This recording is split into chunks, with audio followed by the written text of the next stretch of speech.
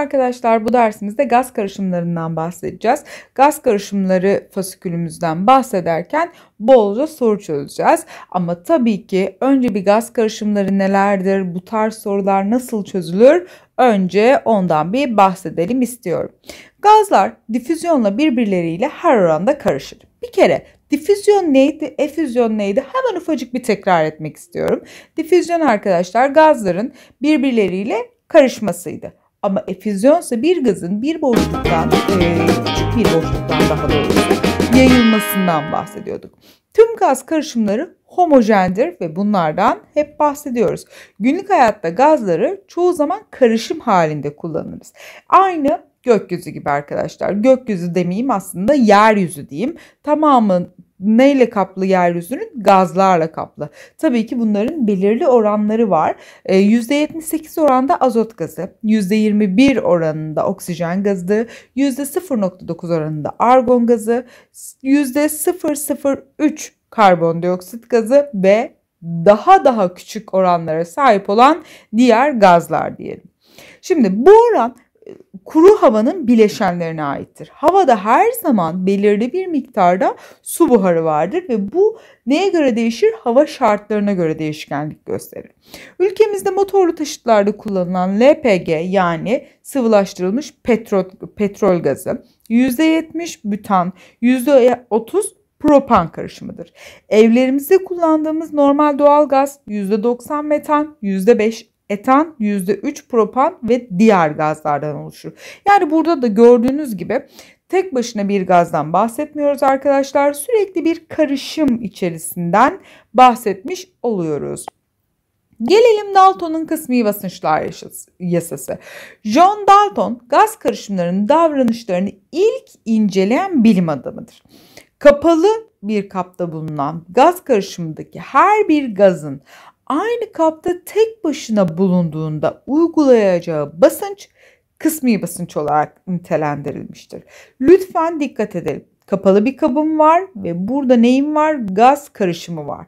Bu gaz karışımındaki basınç dışında tek başına uygulayacağı basınçtan bahsediyoruz ve bu basınca da ne diyoruz? Kısmi basınç diyoruz. Kısmi basınç soruları çok fazla karşımıza çıkıyor arkadaşlar. Ee, ama gayet kolay olarak pat diye çözebileceğimiz sorular. Şimdi PV eşittir NRT denklemi tek bir gaz için yazılırsa hesaplanan basınç kısmi basınç olur. Aslında zor olmadığını az önceki dikkat bölümünden de anlayabiliriz. Kısmi basınçlar yasasına göre bir gaz karışımının toplam basıncı içindeki bileşenlerin kısmi basınçları toplamıdır neymiş? Bir gaz karışımının toplam basıncı. Örneğin şöyle düşünelim. Benim kabımın içerisinde işte helyum var, neon var ve argon var. Bu kapların hepsinin yaptığı toplam basınç tüm kısmi basınçların toplamıdır. Örneğin helyum 1 atm'lik basınç yapsın, neon 2 atm'lik yapsın, argon da 3 atm'lik. O zaman toplam basıncım nedir benim? 6'dır. Kısmi basınç dediği zaman şöyle söyleyecek. Helyumun kısmi basıncı nedir? 1. Neonunki nedir? 2. Argonunki nedir? 3. Kısmi demesinin sebebi bir kısım basınçtan bahsediyor. Düşünün bir kabın içerisinde 3 tane gazın yaptığı basınç var ama bunun bir kısmı olan argonun basıncını soruyor bize. Böyle düşünelim. Her bir gazın kısmi basıncı sahip olduğu taneciklerin ne ile orantılıymış? Mol sayısıyla orantılıdır. Peki buradan yola çıkarak ne diyebilirim? P toplam helyum, azot ve karbondioksit gazlarının kısmi basınçları toplanarak hesaplanır. Neden? Kabın içerisinde bu üç tane gazım var. Peki e, hacimler ve sıcaklıklar aynı olduğu için basınçlar oranı moller oranına eşittir demiş ve formül olarak helyumun basıncı bölü toplam basınç, helyumun mol sayısı bölü toplam basınç, azotun mol sayısı bölü toplam basınç, azot top, e, azotun mol sayısı bölü toplam mol. Karbondioksitin basıncı bölü toplam basınç, karbondioksitin mol sayısı bölü toplam mol sayısı şeklinde hesaplayabilirim. Şimdi formülleri tekrar düzenlediğim zaman dikkat edin lütfen. Helyumun basıncını nasıl hesaplıyorum? Helyumun mol sayısı bölü toplam mol çarpı toplam basınç. Hepsini bu şekilde tek tek hesaplayabilirim. Ama bu kadar ayrıntılı formülle bahsedecek miyim? Aslında ben bu kadar formül kullanan bir öğretmen değilim. Ama formül bilmemiz gerekiyor mu? Yani formülü bilirsek çok daha e, formülize olan arkadaşlarımız var. Yani formülü ezberleyip soru çözmeyi daha kolay bulan arkadaşlarımız var.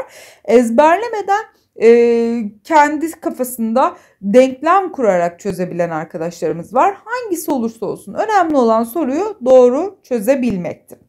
Homojen bir karışımda herhangi bir bileşenin mol sayısının toplamı mol sayısına oranına mol kesri denir. Şimdi mol kesri ile ilgili de çok soruyla karşılaşacağız ve mol kesri x ile gösterilir. Helyumun x'i yani helyumun mol sayısı, mol kesri, helyumun mol sayısı bölü toplam mol sayısına eşittir. Dolayısıyla yukarıdaki formüller bu şekilde yazılabilir arkadaşım. Helyumun basıncı, kısmi basıncı, helyumun kısmi basıncı çarpı toplam basınç. Ya da e, azotun basıncı, azotun kısmi basıncı çarpı toplam basınç. E, karbondioksitin basıncı, karbondioksitin kısmi basıncı çarpı toplam basınç şeklinde yapılabilir ve P toplamda zaten bunların hepsinin toplamıdır dedik. O zaman sorulara geçme zamanı. Sabit sıcaklıkta kapalı bir kaptaki gaz karışımları ile ilgili 1. Tamamı homojendir. Arkadaşım gazların hepsi homojendir bir arada dururken de. Neden? Çünkü gözle görülemezler. 2. Sabit hacimli bir kapta iki gazdan oluşan karışımdaki gazlardan sadece birisi kaptan alınırsa diğerinin kısmi basıncı artar. Kısmi basınç neyle orantılıydı arkadaşım? Maddenin kendi mol sayısıyla. Örneğin X gazımın mol sayısını varsayıyorum ki 1 mol. Kısmi basıncı mol sayısıyla doğru orantılı dedim. Neden değişsin ki? Ama ben X'ten madde azaltırsam örneğin 1 molden 0,5 mole getirirsem işte o zaman X'in kısmi basıncı değişecektir. O yüzden bu öncül yanlış. Zaten üçüncü öncül de bununla ilgilidir. Diyor ki her gazın kısmi basıncı mol sayısıyla orantılıdır. Evet arkadaşım doğru söylüyorsun. Şekildeki kaba sabit sıcaklıkta eşit kütlede helyum gazı eklenirse CH4'ün basıncı nasıl değişir? Peki kapta birden fazla gaz varsa bunların tek tek basıncını soruyorsa biz buna ne diyorduk? Kısmi basınç diyorduk. Peki kısmi basınç neyle alakalıydı? Arkadaşım maddenin kendi mol sayısıyla. Eğer buraya eklenen madde helyum değil de yine CH4 olsaydı o zaman kısmi basınçta bir değişiklik olduğu için yaptığı basınç değişmiştir derdik. Ama farklı bir gaz eklediğim zaman adamın kendi mol sayısı değişmediği için kısmi basıncı değişiklik göstermeyecektir diyorum ve cevabı A olarak işaretliyorum. Gelelim 2020 ÖSYM'de AYT'de ne sormuş ÖSYM? Peki aşağıda gösterildiği gibi ayrı kapları bulunan H2 ve helyum gazlarının muslukları açılarak sabit sıcaklıkta karıştırılıyor. Peki e, ilk kabımda H2 var 1 litre 1 atm. İkinci kabım vakumlu 2 litre. Üçüncü kabım helyum 1 litre 1 atm. Buna göre gaz karışımının toplam basıncı kaç atmosferdir? parantez açmış. Toplam hacim yanında musluk hacimleri ihmal edilebilir olduğu ve gazların ideal gaz gibi olduğunu düşün demiş. Peki arkadaşım diyorum ki ben birden fazla gaz varsa şu formülü kullanabilir miyim? P1 V1 artı P2 V2 artı 3 tane kabım olduğu için P3 V3 eşittir P son V son. Şimdi bunu yola çıkarak ilk kabımda hidrojen gazım var. 1 atm ve hacmi de 1 litre. İkinci kabımda hiç maddem yok. Doğru muyum? Sıfır madde yani sıfır basınç yaptığı hacim kapladığı hacim 2. Üçüncü kabıma geldim. 1 litre ve 1 atm basınca sahip.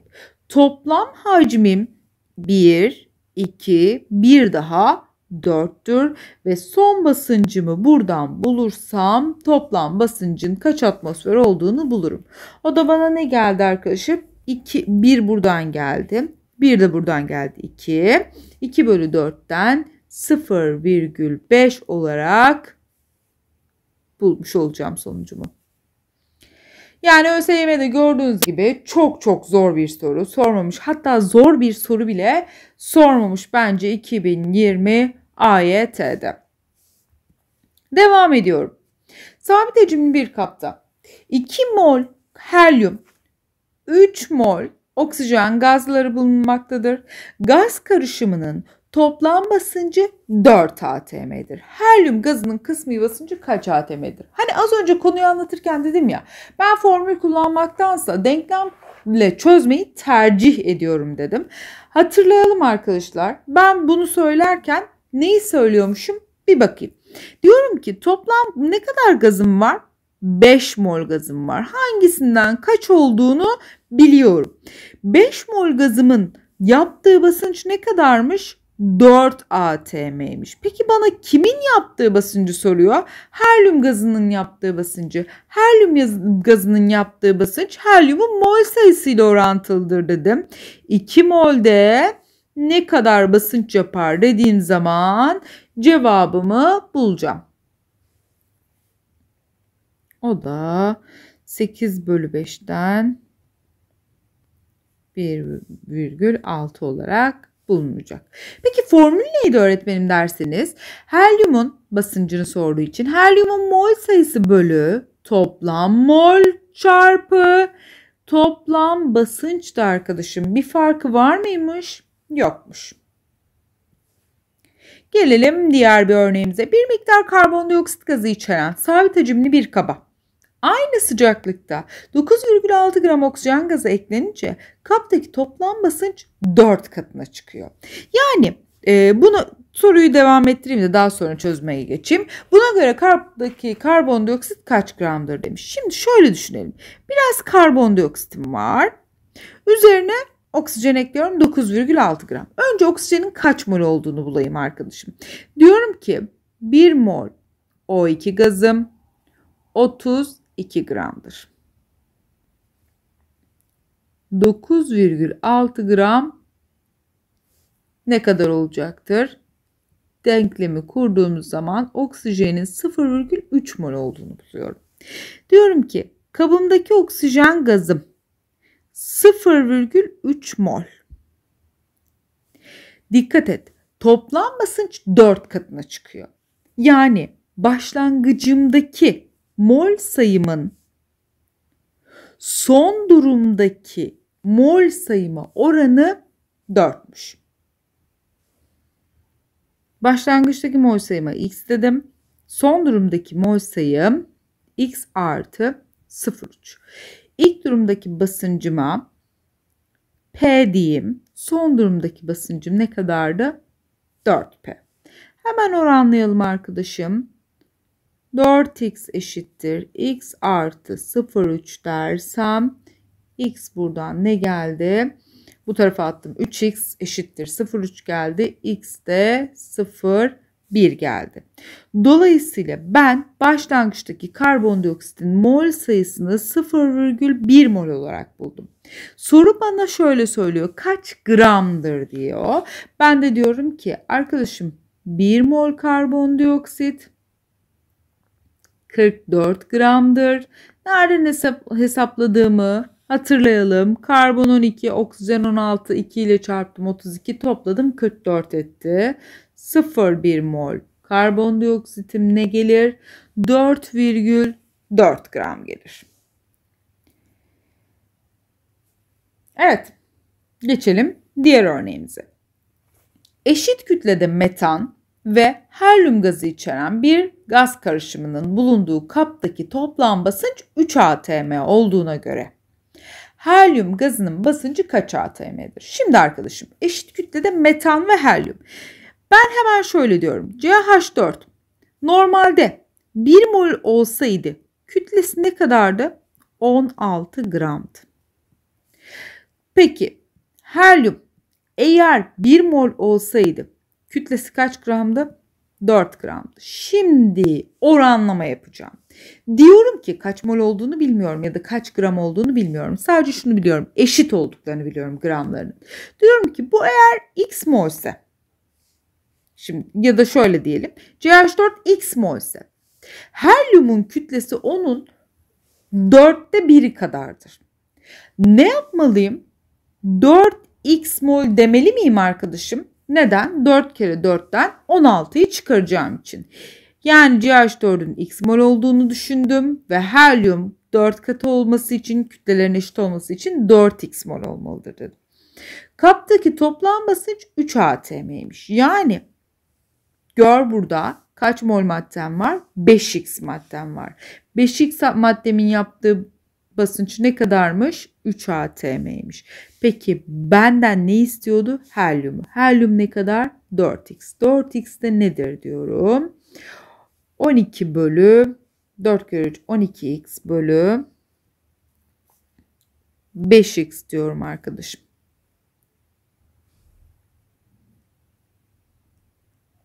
Cevap ne geldi? 2.4 geldi. Evet, hadi bakalım. Devam ediyoruz. Dikkat edin demiş.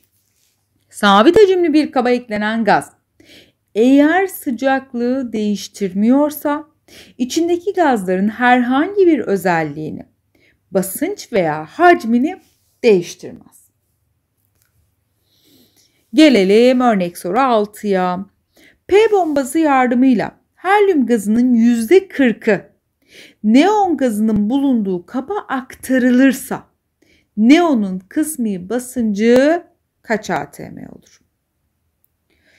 Şimdi eğer beni az önceden beri çok dikkatli dinliyorsan arkadaşım cevabını hiçbir işlemi yapmadan verebilirsin. Ama beni dikkatli dinlemediysen şimdi eline ka- kağıdı kalemi alıp helyumun yüzde kırkını öbür kaba sokarsam yapacağı basınç ne olur falan bunu hesaplamakla uğraşıyorsundur. Ben ne dedim? Kısmi basınç maddenin mol sayısıyla orantılıdır dedim. Tabii ki cevabım 4. Çünkü neon mol sayısı değişmediğine göre basıncı da aynı kalacaktır dedim ve 4 atm'dir diyoruz. Umarım anlaşabilmişizdir. Devam edelim. Şekildeki eşit bölmeli kapta bulunan gaz 1 atm dış basınç altında ve 127 santigrat derece sıcaklıkta serbest piston ile dengelenmiştir. Gaz eksi 73 dereceye kadar soğutulursa son durumdaki N2'nin kısmi basıncı kaç atm olur? Şimdi bu soruyu çözerken şu ana kadar hiç sıcaklıktan bahsetmemiştik. Ama şu an devreye sıcaklıkta giriyor. Siz şu formülü çok iyi biliyorsunuz arkadaşlar. Burada değişen faktörleri göz önünde bulunduracağım. R zaten beni ilgilendirmiyor. Peki mol sayısıyla bahsetmiyorum çünkü mol sayısı değişim göstermiyor. Değişim gösteren şeyler burada kalanlar yani P, V ve T durumları. İlk durumdaki basıncım 1. Zaten bir tane gazım olduğu için kısmi basınç dediği için şunu soruyor bana. 1. İkinci durumdaki basıncım nedir? Bilmiyorum değil mi arkadaşım? Px diyeyim. İlk durumdaki hacmim neydi?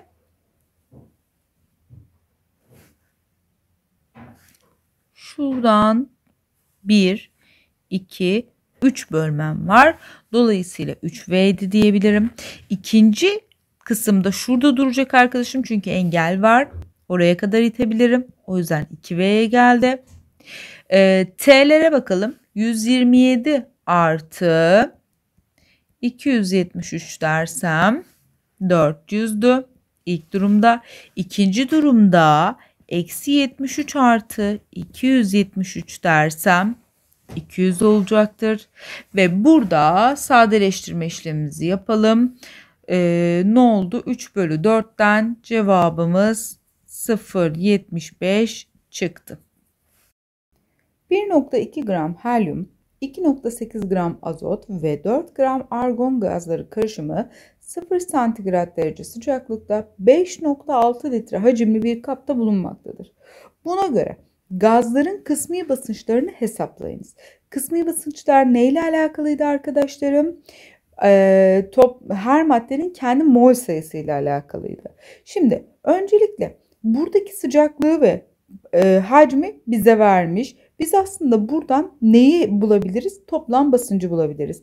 P toplam basıncı bilmiyorum. Hacim 5,6 mol sayısını şimdi bulacağım. R e, 22.4 bölü 273 sıcaklığım da 0 santigrat derece yani 273 Kelvin'dir. Şimdi e, onlar birbirlerini götürdü. Hemen şuradan mol sayısını hesaplayalım. 1.2 gram helyum. 1 mol helyum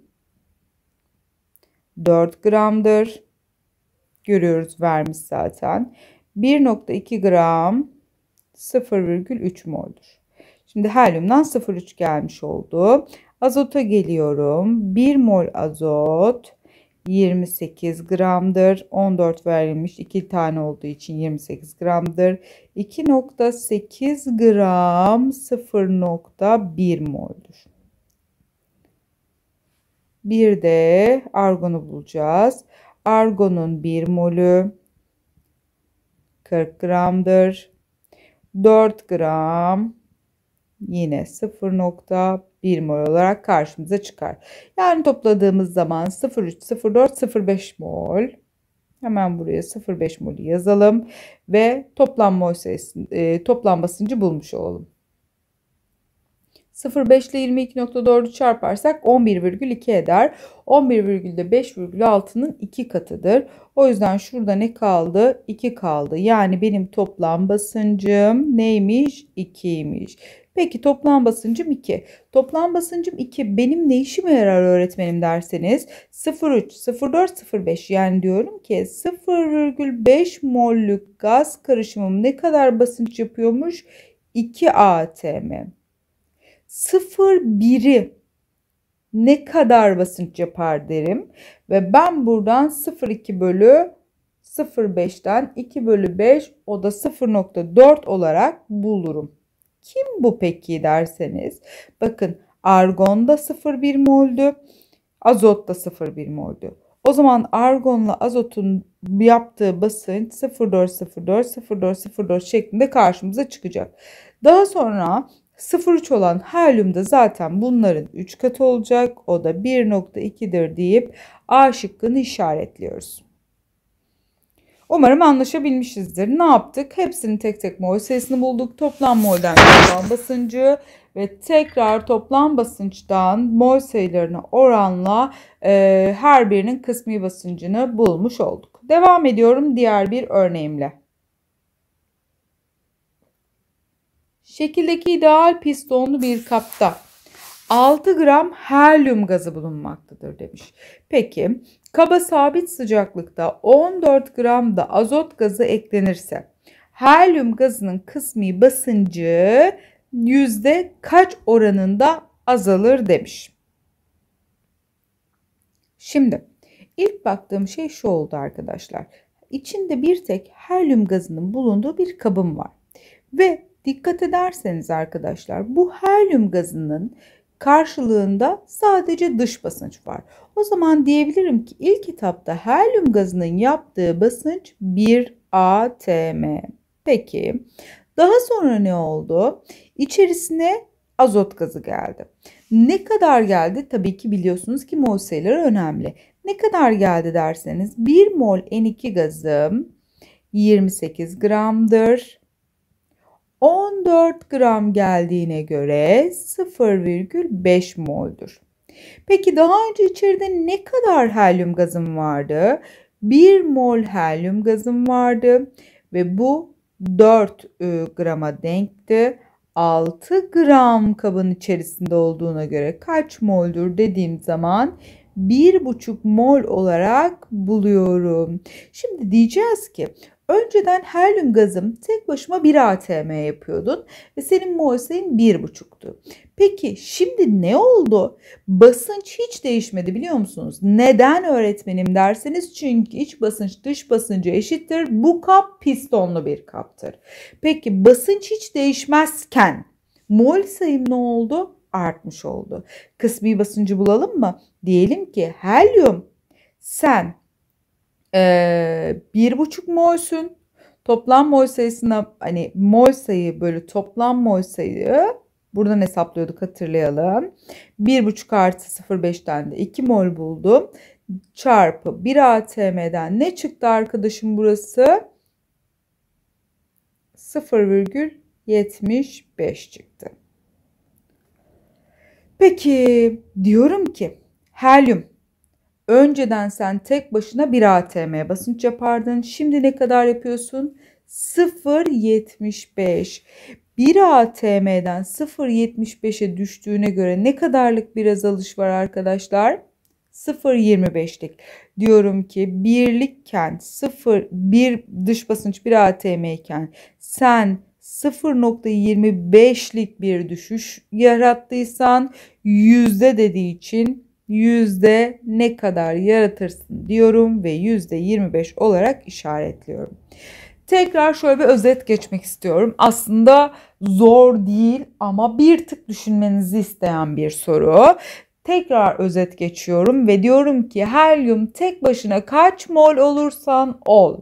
Dış basınca eşit olduğun için yaptığın basınç 1 atm. İçerisine madde koydum ve dış basıncı hiç değiştirmedim. Dolayısıyla dış basıncım yine bir atm. Ama ne oldu? İçine başka madde girdiği için helyumun kısmi basıncı değişmiş oldu.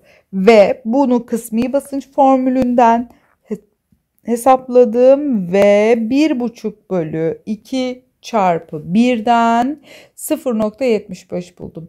Azalmam ne kadarmış? 0.75'lik 0.25'lik oldu arkadaşlar. Ve diyorum ki 1 atm basıncı eşitken 0.25'lik bir azalma söz konusuysa yüzde dediği için yüzde ne kadardır diyoruz. Evet gelelim gazların su üstünde toplanmasına. Kimyasal tepkimelerde oluşan gazların hacimleri farklı deneysel yöntemlerle hesaplanabiliyor. Bunlardan ilki ideal pistonlu kapta toplama. İkincisi ise içi su dolu dereceli silindirde su üstünde toplama şeklinde karşımıza çıkıyor. Şimdi iki şeklinde aslında birbirlerinden e, uçuk uçuk farkları yok ama yine de tabii ki her iki şekil birbirlerinden farklı şeyler ifade ediyor. Şekil 1'de tepkimede açığa çıkan H2 gazının hacmi Cam şırıngada pistonun hareketi durduğu anda kapladığı hacim belirlenerek bulunur. Belirlenecek hacim değeri H2 gazının atmosfer basıncı altında kapladığı hacimi gösterir. Evet arkadaşlar şimdi şekil 1'den bahsedeyim size. Şekil 1 zaten görebiliyoruz kitaplarımızda ama kitaplarımızdan dışında da ben hemen şurada ufacık bir şekil çizmek istiyorum size. İçine bir magnezyum şeridi koymuşuz ve bu magnezyumu kim içerisinde koymuşuz? HCl çözeltisinin. Hepimiz şöyle biliyoruz. Bir e, metalle asit reaksiyona girer ve H2 gazı açığa çıkarır Geri kalan maddem kimdir? Magnezyum klorürdür diyorum. Peki şimdi açığa çıkan gazım kimdi? Hidrojendi. O zaman ga hidrojen gazım buradan çıkmak isteyecek ve bir şırınganın içerisine dolduruyorum. Şırınga Kime bağlı? Açık hava basıncına bağlı. Buradan kim geliyor? Hidrojen gazım geliyor. Bunların dengede durduğu noktada hacim sabitlenmiş olacak. Aslında az önce anlatılan cümlelerin hepsi buydu. O zaman devam edelim şekil 2'deki açığa çıkan oksijen gazından. Ee, şekil, şekil 2'de açığa çıkan oksijen gazının hacmi kadar su dereceli silindirden behere dolar. Böylelikle dereceli silindirden oksijen gazının hacmi belirlenir. Ayrıca dereceli silindirdeki su seviyesi ile beherdeki su seviyesi aynı hizaya geldiği anda atmosfer basıncı ile dereceli silindirdeki gazların toplam basıncı birbirine eşittir.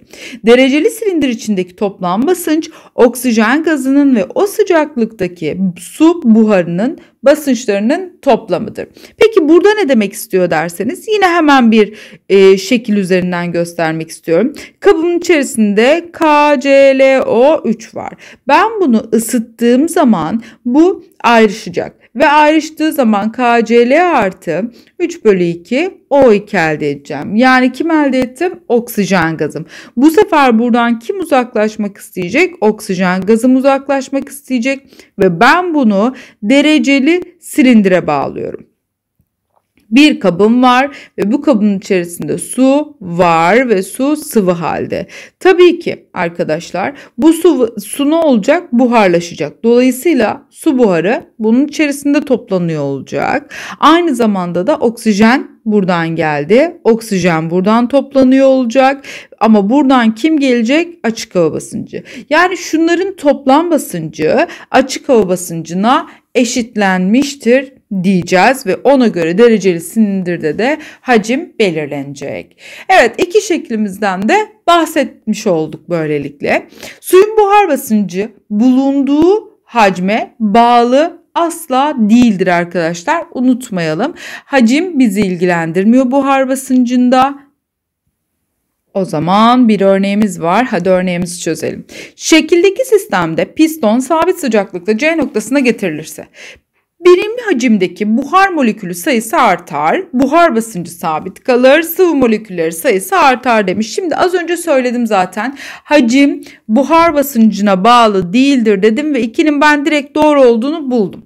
Devam ediyorum. Diğerlerinden bahsederken arkadaşım kabımın hacmi B hacminden C hacmine geliyor. Yani hacim ne oluyor? Azalıyor. Eğer hacim azaltırsam ne olacak biliyor musunuz? Su moleküllerinin gaz hali birazı azalıp ne hale geçecek? Sıvı hale geçecek.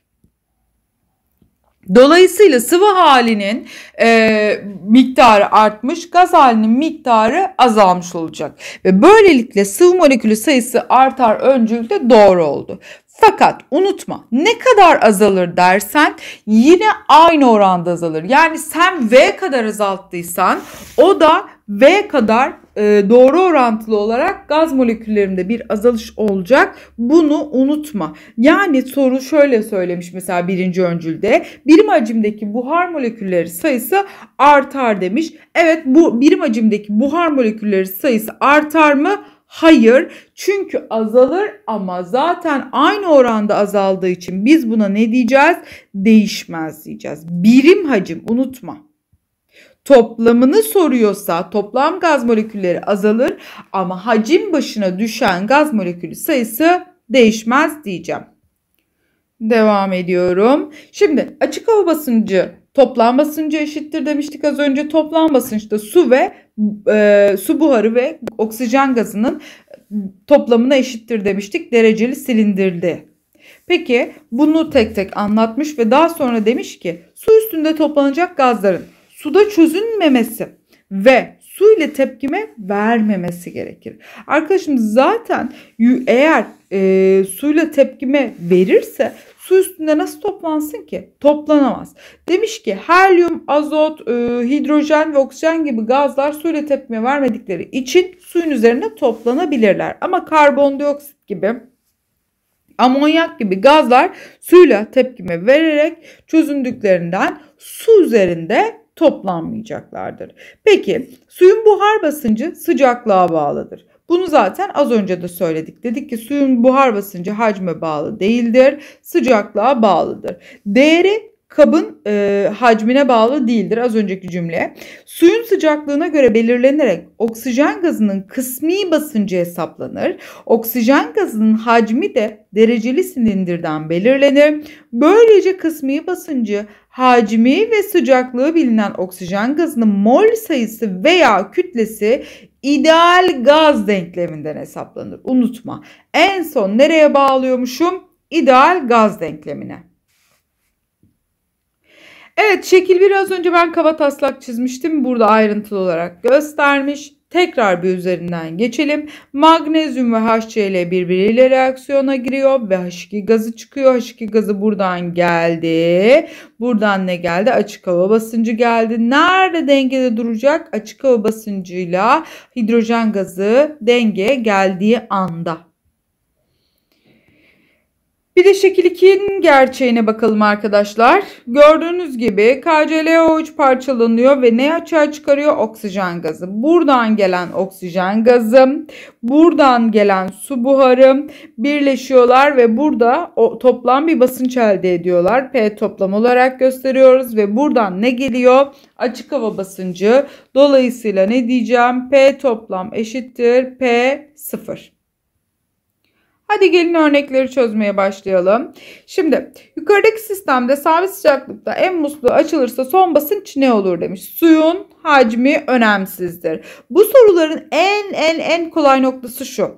Arkadaşım suyun basıncı neyse ne o hiçbir zaman işlemlerimin içine girmez. En son işlemlerime katılır da, e, ama işlem yaparken içinde yer almayacaktır. Nasıl yani? Ben musluğu açtığım zaman Suyun yaptığı basınç değişmeyecek arkadaşım.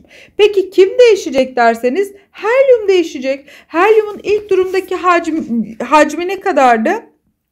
3V'ydi. Yaptığı basınç ne kadardı? 4 ATM'ydi. Sonra ben musluğu açtım. 5V hacme sahip oldu ve yaptığı basınç ne olacaktır? Helyumun bunu bulacağım. 12 bölü 5'ten 2.4 olarak ben helyumun yaptığı basıncı hesapladım. Peki helyumun yaptığı basıncı hesapladım da suyun yaptığı basınç ne oldu? Üzerine ekleyeceğim arkadaşım. 0.2 Topladığım zaman 2.6'lık bir basınç vardır benim kabımda deyip D şıkkını işaretliyorum. Hadi devam edelim diğer bir örneğimizle. Şimdi helyum gazı varmış e, sol taraftaki kabın içerisinde. Bir de su varmış sıvı halde. Sağ taraftaki kabımda da neon varmış. Yalnız şekil itibariyle ilk etapta kapalıymış gibi gözükse de kapalı değil arkadaşım. Kime eşitmiş? P0'a. P0'da neye eşittir? 1 ATM'ye diyorum. Peki buna göre demiş bunları göstermiş. Ve buna göre sabit sıcaklık kamusluğu açılırsa sistemin son hacmi kaç V olur? Olay sırasında sıcaklık sabit olup sıvı suyun hacmindeki değişim ihmal edilmektedir. Olayın gerçekleştiği sıcaklıkta suyun buhar basıncı 0,4 atm'dir. Şimdi bu bizim için önemli biliyorsunuz. Ne dedim? Bunu çıkartarak işlem yapıyorum. Sol kabıma geldim. Yani birinci kabıma geldim. Birinci kap olduğunu düşünelim bunun. Birinci kabımda helyumum ne kadar yani toplam kap basıncım ne kadarmış? 1.4'müş. Toplam kap basıncım 1.4 ise 0.4'ü suya aitse biri neye aittir? Helyuma aittir. Peki ben burada ne formülümü kullanabilirim? P1, V1 iki tane maddem olduğu için P2, V2 ve P son V son formülümü kullanabilirim. Maddemi çıkarttım yani suyumu çıkarttım. Kaldı bana helyumun basıncı 1 yazdım. Kapladığı hacim neymiş? 5 yazdım. Ee, neon kime aittir? Dış basıncı aittir. O yüzden onun da yaptığı basınç 1'dir. Hacmi nedir? 4'tür diyorum. Eşittir. Son hacmim zaten bana bunu soruyor. En önemli nokta burası arkadaşım. En ama en önemli. Peki neden diyeceksin? E açık hava basıncı 1 ise 1'e eşittir. Hayır. Açık hava basıncım 1. İçeride suyun yaptığı 0,4'lük bir basınç var. Dolayısıyla diğer gazlarımın yapacağı basınç ne olmalı? 0,6 olmalıdır diyorum. Burası 9 bölü 0,6'dan toplam hacimimi 15 bulmama neden oluyor. Lütfen ama lütfen şuraya dikkat et. Toplam basıncım evet 1 atm'ye eşit olmalıdır ama ben burada helyum ve neon gazlarımın basıncını buluyorum ve bunların da toplam basıncı ne olmalıdır? 0,6 çünkü 0,4'lük su içeride vardır. Hemen devam ediyorum diğer bir örnekle. Şimdi KMnO4 katısının tamamı ısıtılmasıyla açığa çıkan oksijen gazı 22 derece sıcaklıkta su üstünde toplanıyor. Su seviyeleri eşitlendiğinde hacmi 190 milim olarak belirleniyor. Deneyin gerçekleştiği ortamda açık hava basıncı 760 mm civa olduğuna göre dereceli silindirdeki toplanan oksijen gazının kütlesi nedir demiş. Şimdi hatırlayalım dereceli silindiri. Şöyle hafifçe çizeceğim. Çok ayrıntılı bir şey çizmeyeceğim arkadaşım. Ne dedim? Şuradan açık hava basıncı geliyor dedim. Şuradan da P toplam geliyor dedim. Ve P toplamda oksijen ve suya eşittir dedim. Şimdi şöyle e, bir şey göstereceğim size. P0 eşittir P toplam dedik. P toplam ne eşitti? P oksijen artı P suydu. Dikkat et soru sana suyun basıncını vermiş 20 milimetre civa diye. E, açık hava basıncını da 760 vermiş. O zaman diyorum ki 760 milimetre civa. Oksijen gazını bilmiyorum ama suyunkini 20 milimetre civa olarak biliyorum. Ve P oksijen gazım ne geldi? 700 40 milimetre civa geldi. Peki ben kütlesini bulmak istiyorsam hangi formülü kullanmalıyım? PVNRT formülünü kullanmalıyım. Basıncı hesaplarken e, 740-760'a çok net bölünmez. O yüzden ben şöyle bırakmak istiyorum. 740 bölü 760. Neden 760'a bölüyorum? Çünkü ben ATM'ye çevirmek istiyorum. Ve diyeceğim ki bir ATM 760 mm civa ise 740 mm civa ne kadardır diyeceğim. O da 740 bölü 760 olarak çıkacak. Hacim 190 mililitre demiş. Peki ben ne yapmalıyım? Burada da bir çeviri yapmalıyım.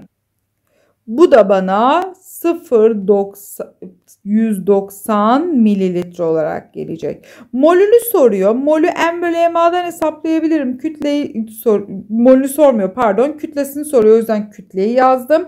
MA'sı ne oksijen gazının? 16 çarpı 2'den 32'dir. Sıra geldi R'ye. E, T'ye bakıyorum. Önce T'yi bulalım. 22 273 artı 22 derseniz 5 9 295 çıkacak. Ben bunu 0,082 yazdım. Burası da 295 olacak. Tabii ki gördüğünüz gibi birazcık matematik işlemleri karışık çıktı ama yine de gerekli matematik işlemleri yapabileceğinize inanıyorum ve cevap 0.24 olarak çıkıyor arkadaşım. Burada bilmenizi istediğim şey toplam basıncın açık hava basıncına eşit oldu. Onun da oksijen ve suyun basıncına eşit oldu. Zaten oksijenin basıncını bulduktan sonra P ve NT'den çok rahat hesaplayabiliyorsunuz.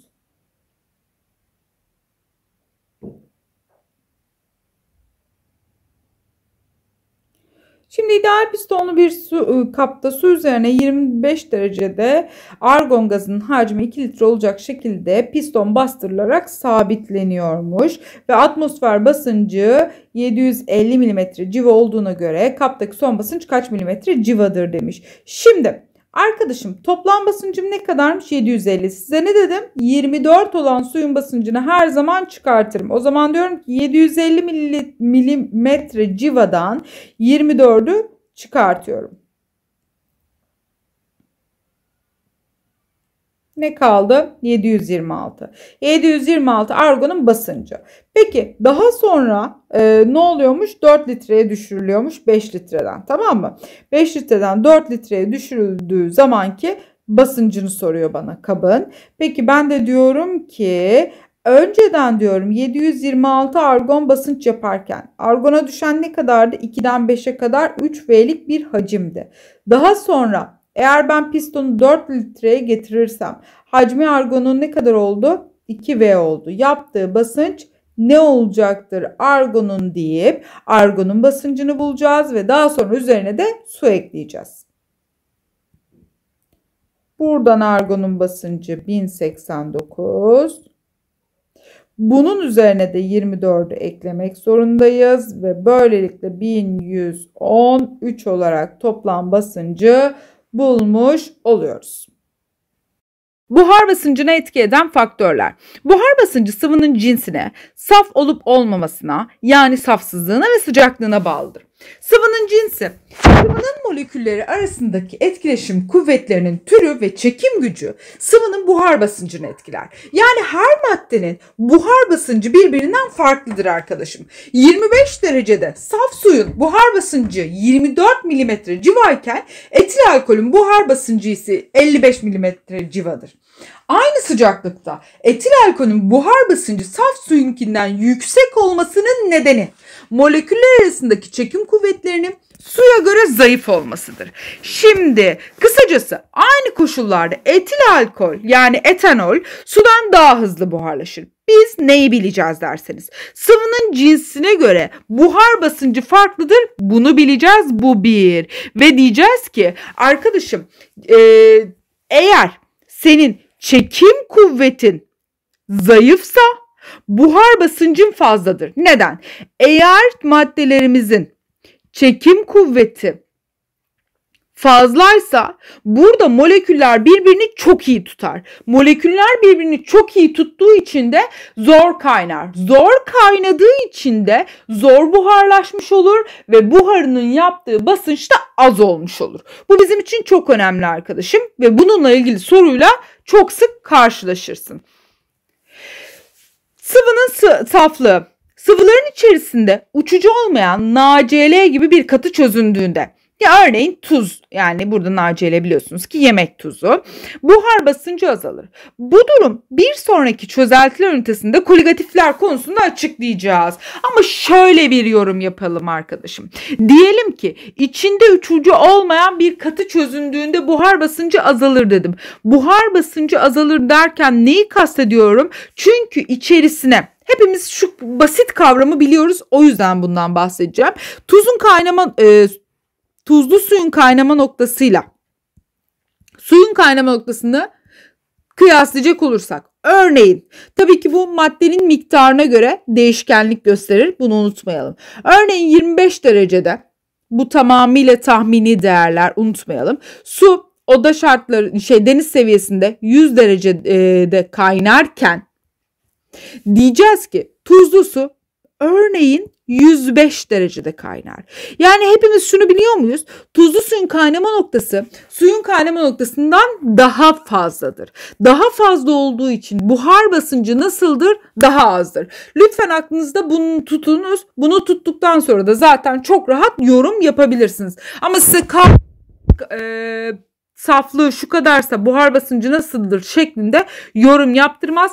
Koligatif özelliklerde sadece kıyaslama vardır. E, koligatiflerin kısmına geldiğimiz zaman zaten ayrıntılı olarak bahsedeceğim.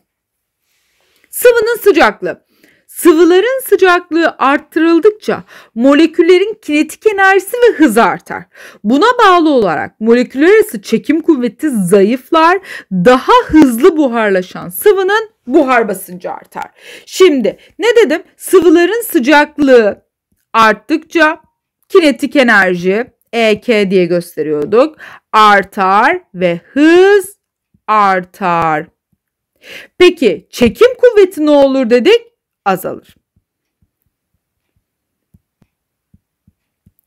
E çekim kuvvetim azalırsa ne olur daha hızlı buharlaşmaz mı arkadaşım?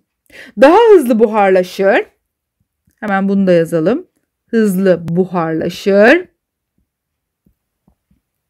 Hızlı buharlaştığı için de buhar basıncı artar. Bu ilişkiyi bence çok rahat artık kurabiliriz. Devam edelim. Denge buhar basıncı. Yani doygun haldeki maddelerin buhar basıncından bahsediyorum. Saf bir sıvının buhar basıncı sadece sıcaklığa bağlıdır ve sıcaklık arttıkça basınç da artar. Sıvılar için verilen buhar basıncı değerleri o sıvıların denge buhar basıncı değerleridir ve kapalı bir kapta buharlaşma hızının yoğunlaşma hızına eşit olduğu ana sıvı buhar denge basıncı denir. Yani neymiş arkadaşım? Buharlaşma hızım yoğunlaşma hızıma eşitmiş. Peki en önemli olay bir saf bir sıvının buhar basıncı sadece neye bağlıymış? sıcaklığa. Sıcaklık arttıkça basınç da artar. Sıvılar için verilen buhar basıncı değeri buna bağlıdır. Yani hemen alttaki iki şekle bakıp inceleme yapalım.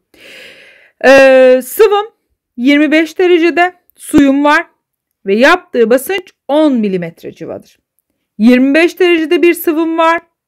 Yaptığı basınç 24 milimetre civadır. Hadi gelelim bu ikisinin neler gösterdiğini, neler anlatmak istediğini bir inceleyelim. Şekil 3'te az önce gördüğümüz suyun buhar basıncının 10 olduğu şekil 3'te kapalı bir kapta 25 santigrat derecede bir miktar su konuluyor ve bir süre sonra suyun buhar basıncı 10 milimetre civa olarak ölçülüyor. Suyun 25 derecedeki doygun buhar basıncı 24 milimetre civa olduğundan suyun buharlaşması için kap içindeki kısmın basıncı 24 milimetre olana kadar olay devam eder. Bu değere ulaşıldığında ise kabın içindeki su için sıvı buhar dengesi kurulmuş olur. O zaman şekil 3'te sıvı buhar dengem kurulmamış fakat şekil 4'te 24 olduğu için sıvı buhar dengem kurulmuştur şeklinde yorum yapabilirim. Hemen şekil 4'ü inceleyeyim. Kap içerisindeki sıvı buhar dengesinin kurulmuş olması. Nereden anladım? 24'e eşit olduğu için anladım. Suyun buharlaşmasının durduğu anlamına gelmez. Çünkü burada bir denge söz konusu. Denge ne demekti arkadaşım? Dengeyi biz çift çift yönlü okla gösteriyorduk. Denge bir bu tarafa doğru hareket ederim hop bir de bu tarafa doğru hareket ederim demekti. Yani tersinir çalışırım anlamına geliyordu. Oluşan su buharı geri yoğuşmaktadır. Bu şekilde buharlaşma ve yoğuşma hızının su miktarının aynı olduğu bir durum gerçekleşir. Bu duruma sıvı buhar dengesi denir. Kapalı bir kapta sıvı buhar dengesi kurulduktan sonra sıcaklık değişmediği sürece kaptaki sıvı fazdaki su ve buhar fazlı havada bulunan su miktarı değişmez. Dolayısıyla sıvı buhar dengesi bozulmaz. Unutmayalım adı üzerinde denge diyorum. Denge çift yönlü okla gösterilir yani tersinir çalışır. Bunu bilelim. Bağıl nem. Bağıl nem arkadaşlar havada bulunan nem miktarı aslında kısaca. Ama tabii ki uzunca bir tanımı var ve biz bu tanımı yapalım. Yağmur yağması atmosferde bulunan su buharının kısmi basıncı ile ilgilidir. Atmosferi de kapalı bir kap olarak düşünebiliriz. Belirli bir sıcaklıkta atmosferde bulunan su buharının kısmi basıncının o sıcaklıktaki denge buhar basıncına yüzde olarak oranı bağıl olarak adlandırılır. Havadaki bağıl oranı %95'in üzerine çıkması yağmur yağma ihtimalinin yüksek olduğunu gösterir. Bağıl nem %100 olduktan sonra soğur ve yağmur yağar. Bağıl için arkadaşım bir formülüm var. Suyun kısmi buhar basıncı bölü suyun denge buhar basıncı çarpı 100. Daha önceki yıllarda bundan problem olarak çok e, soru karşımıza çıkıyordu. Ama artık çıkıyor mu öğretmenim derseniz çıkmıyor. Ama tabii ki biz formülü biliyoruz. Bu daha çok coğrafya ünitede bir ünite olarak karşımıza çıkıyor arkadaşlar artık. Ama tabii ki bu ÖSYM'nin 2013'te bize bununla ilgili soru sorduğu gerçeğini bizden gizlemez ve bakalım 2013 yılında ÖSYM LYS sınavında ne sormuş? Bağıl nem havadaki su buharının kısmi basıncının aynı sıcaklıktaki suyun buhar basıncı oranının yüzdesi olarak tanımlanır. Zaten gördüğünüz gibi soru bize her şeyi açıklamış. Bağıl nemi söylemiş ve hmm, bunun formülünden bahsetmiş. O zaman ben direkt formülünden bahsettiği için hemen size formülüne geçeyim.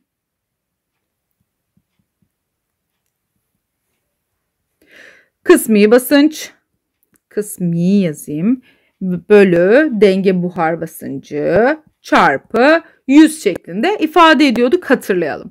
Peki ne demiş suyun buhar basıncı 20'dir. Yani denge halindeki 20'ymiş arkadaşım çarpı yüzüm var unutmayalım. Bağıl nem oranı kaçmış? %80'miş. Ve burada bana kısmi basıncını soruyor. PK dedim ve şuradan şu iki sıfırla şu iki sıfır birbirini götürürse P kısmi basınç 16 olarak karşıma çıkıyor. Tekrar söylüyorum artık bununla ilgili pro- problemler ya da sorular çok fazla karşıma çıkmıyor ama bu çıkmayacağı anlamına gelmiyor. Çünkü 2013'te ÖSYM bize bunu sormuş dedikten sonra.